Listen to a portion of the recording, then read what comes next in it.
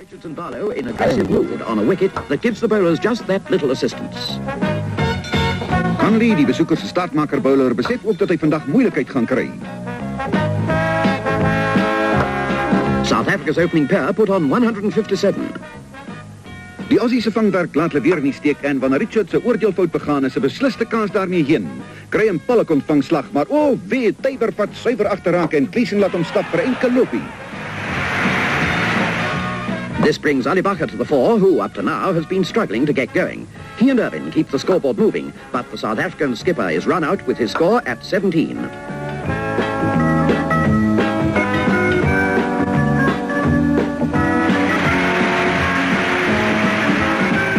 Next man in is Denis Lindsay. Irvine kolf lustig voort en dink niks daarvan om Gleeson se oor die toue te. South Africa's score of 249 for 5 is a good first day's work. Myn sit die Australiese aanval voort. Laas word pens en potjies gebou en dit word aan Dennis Lindsay en sy genoot Proctor oorgelaat om vuur te maak.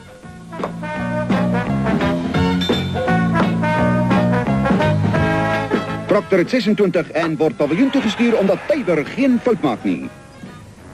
For a moment, Mayne gets away from the tense atmosphere of Test cricket, but he's on his toes when Connolly bowls Trimborn for a duck. Connolly has Traicos caught behind, and South Africa are all out for 311. He gets a big hand from the crowd for his 6 for 47. Peter Pollock brand los met sy blitsballe, maar Lorien Stackpole laat loop grens toe, dog nie verlang nie, want kyk net hoe netjies laat Procter hom op eerste glip deur Barlow uitvang.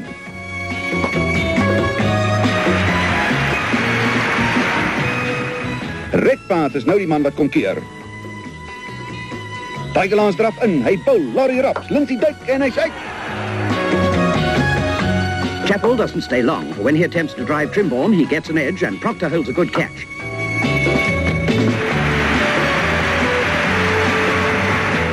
Trimborn strikes again when he forces Walters into a 40 stroke, which gives Denis Lindsay his second victim. This brings Redpath and Sheahan together, who try to give the Australian innings some stature.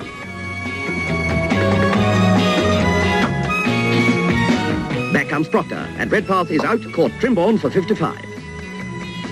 Die begin van die einde as Eddie Barlow tot die aanval toetree. Daar kom Eddie, die bal klap teen die skutte. Hoe's daai meneer die skeieregter? Hou sy vinger dop op 189 vir 6. Sheahan is top scorer with 67 well-earned runs, but is out when Peter Pollock has him caught by Procter. Mackenzie out to Pollock. Fielder's name, Barlow. Main probeer die port hou, maar die volgende oomblik beland hy hou van Gleeson in die veilige handskoene van Lindsay. En wanneer Proctor die penne van Main laat spat, eindig die Aussie se eerste beurt op 212, 99 agter.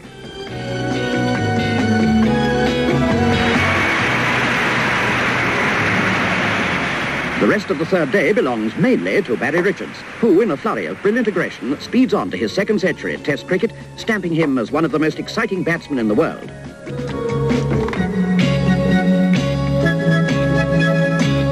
Barlow's 27 makes it obvious that Lawry and his men will have to face a mammoth total in the final innings. Ali Bacher, in the meantime, is also chasing the runs. Gleeson toe. Richard sloeg hoog en raak. Sessie. Gray McKenzie storm vorentoe. Richard sê vat so hoog en ver en dwars oor. Sessie. Bacher knyp vas met 'n viertjie en die Australiërs weet nou nie hoe om daai loopie stortvloed te tem nie. Richards scores 126, ending the series with an aggregate of 508 runs in seven innings. Well played, Barry.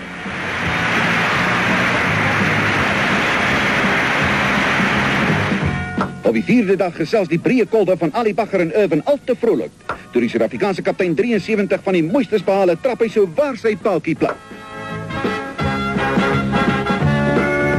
At this stage of the game, the Australian bowling is getting a pasting as Irvine and Lindsay send the fielders scattering in all directions. Lindsay hits Gleeson for five fours off consecutive balls.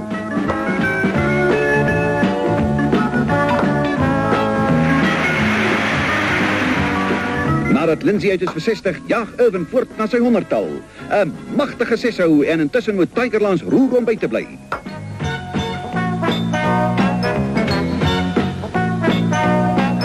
It takes Irvine and Lance only 50 minutes to put on 73, and in this period, the Australians fail to hang on to important catches.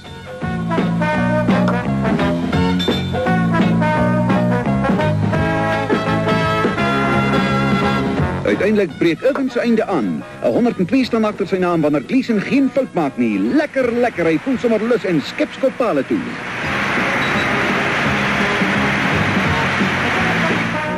Procter makes a valuable contribution of 23, and shortly afterwards, South Africa declare at 470 for 8, leaving Australia 570 to win. Aangezien Pieter Palk 'n besering opgedoen het, word Trimbon vroeg vroeg ingespan teen 'n aanvangspaar wat lyk of van plan is om vas te skop.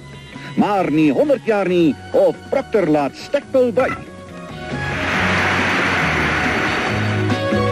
Redpath is at the wicket and starts off briskly. But next thing, Laurie flashes at a ball from Barlow and the Australian captain is out, having made 43.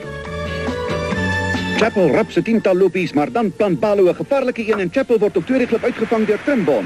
Nou is Australië behoorlik in die sop want kort daarna is dit Proctor wat sy volgende slag opvereis wanneer Redpath die bal na Barlow se kant toe kerf, 134 te 4. Walters and Sheehan are the only two recognised batsmen left, but there is no holding the Springboks, as yet another wicket falls when Trimborn, aided and abetted by Lindsay, removes Sheehan, who has scored 46.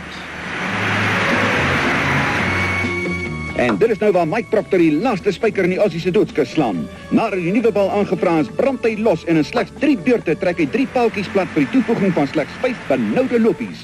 Altesaam 6 vir 73, sy beste prestasie dusver in toetskriket. Full marks to Tabor as he desperately hangs on, but now it's all Proctor. There goes Mackenzie, caught behind.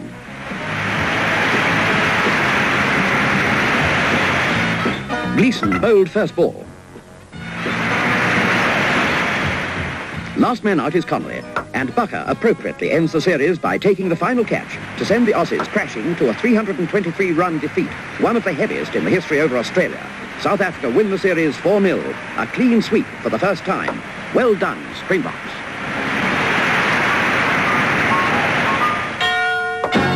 The coming team, how do you think they'll compare? Uh, the South African team, uh, I think some of the